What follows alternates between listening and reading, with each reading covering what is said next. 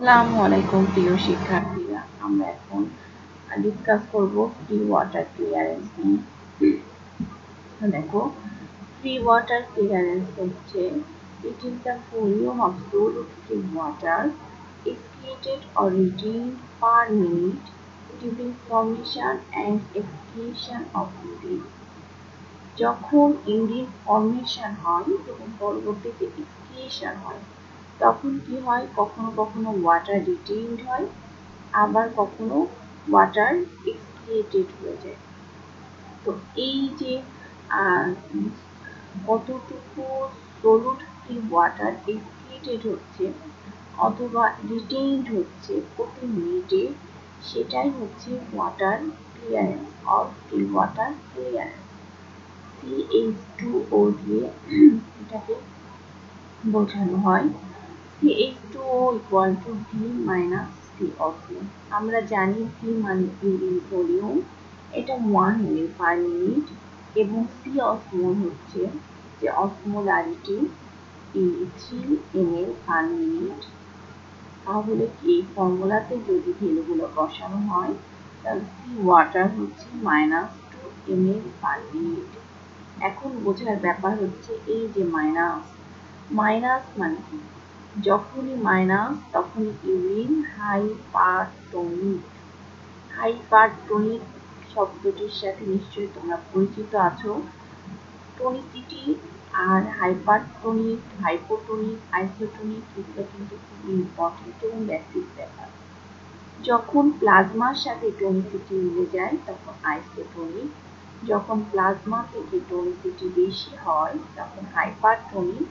এবং প্লাজমা থেকে টনিসিটি কম হলে হাইপোটোনিক এই যে মাইনাস বোঝানো হচ্ছে, তার মানে এই চিহ্ন যে থাকলেই বোঝা যায় যে এটা কি negative free water clearance urine hypertonic হয়েছে।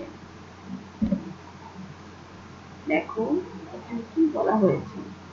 It indicates the amount of urine with which the individual excretes solute load in each minute is less by 2 ml than the volume of plasma with which same amount of solute spoiled in plasma.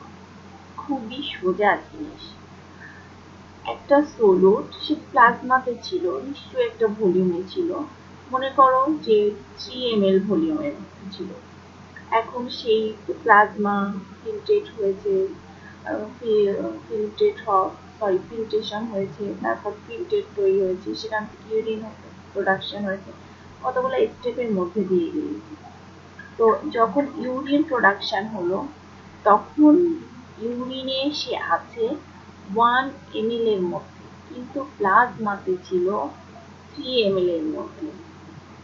তাহলে সে কি?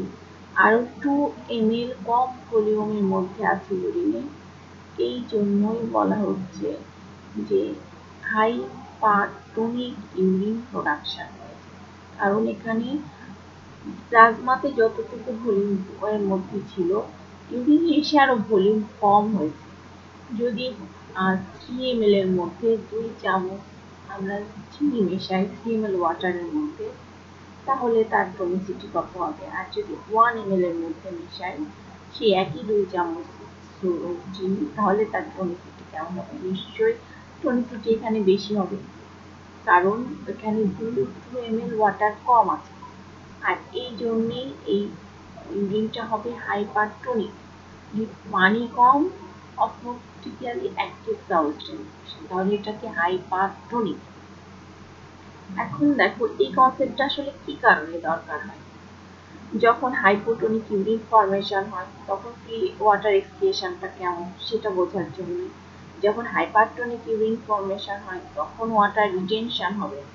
তাহলে এই রিটেনশনের ভলিউমটা কেমন? এবং renal concentrating এবং ডায়ালিটিং পাওয়ারটা বোঝার জন্য। আমি বুঝতে পারছি তোমাদের এটা বুঝতে একটু কষ্ট হতে পারে। তো তোমাদের যে বই, তোমাদের এবিসি বই পড়ো। তো এবিসি বইয়ে স্যার যে ডিসকাশনটা করেছে, আমি সেটা একটু তোমাদেরকে ব্যাখ্যা করে দিচ্ছি, বোঝার সুবিধার্থে। দেখো এখানে, একটা, একজন ইন্ডিভিজুয়াল যদি থ্রি হান্ড্রেড মিলিয়ন সলিউট যেটা ওয়ান লিটার ইউরিন দিয়ে যদি পাস করে প্রতিদিন, তাহলে কি হবে? এই ইউরিনের osmolarity three hundred osmol per litre আমরা জানি কি প্লাজমার osmolarity three hundred milliosmol per litre, তাহলে এটা আইসোটোনিক ইউরিন। আর যখন আইসোটোনিক ইউরিন তৈরি হবে, তখন তো কোনো ওয়াটার রিটেনশনও হবে না এক্সক্রিয়েশনও হবে না ইউরিনের দিয়ে। তাহলে এটা কি বলছি আমরা? তাহলে এই সময় এই ওয়াটার ক্লিয়ারেন্স হবে জিরো এখন যদি এই three hundred milliosmol solute one থেকে টু লিটার ইউরিন দিয়ে যদি পাস করানো তাহলে কি হবে? ছিল ওয়ান লিটারের মধ্যে। প্লাজমা ভলিউম আমি বলেছি three hundred milliosmol per litre মানে থ্রি হান্ড্রেড মিলিঅসমোল সাবস্টেন্স ছিল ওয়ান লিটার প্লাজমাতে ইউরিনে যাওয়ার সময় সেটা টু লিটার ইউরিন দিয়ে যাচ্ছে। তাহলে এখানে কি হবে? এই যে এক্সট্রা দুই লিটার ভলিউমের ওয়াটার সেটা এক্সক্রিয়েট হয়ে যাবে। আর যখনই এক্সক্রিয়েট হয়ে যাবে তার মানে কি? এই যে অসমোটিক্যালি অ্যাক্টিভ সাবস্টেন্সগুলো তো আসলে টু লিটারের মধ্যে দিয়ে এক্সক্রিয়েট হয়ে যাচ্ছে। তাহলে ওদের কি টোনিসিটি আর থ্রি হান্ড্রেড থাকবে, না, কারণ এক লিটারে ছিল থ্রি থ্রি হান্ড্রেড মিলিঅসমোল এখন সেটা টু লিটারে আসবে তো টু লিটারে হলে তার পানির পরিমাণ ওয়ান লিটার বেড়ে গেছে। তাহলে অসমোলারিটিও অর্ধেক হয়ে যাবে। তখন এটা ওয়ান হান্ড্রেড ফিফটি হয়ে যাবে মিলিঅসমোল পার লিটার আর যদি এই থ্রি হান্ড্রেড মাত্র ফাইভ হান্ড্রেড ওয়াটারের মধ্যে দিয়ে পাস করে। মানে ছিল প্লাজমাতে ওয়ান লিটারের মধ্যে, কিন্তু ইউরিনে এসে হয়ে গেল ফাইভ হান্ড্রেড এমএল মানে আধা লিটার তাহলে কি হবে?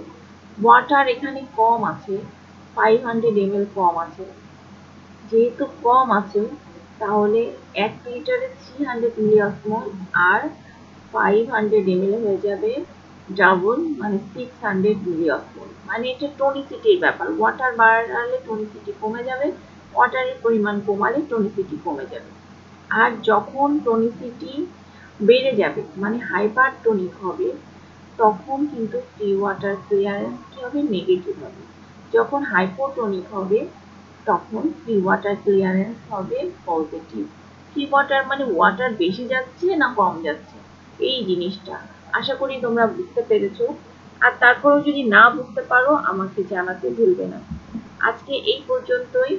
তো আল্লাহ হাফেজ।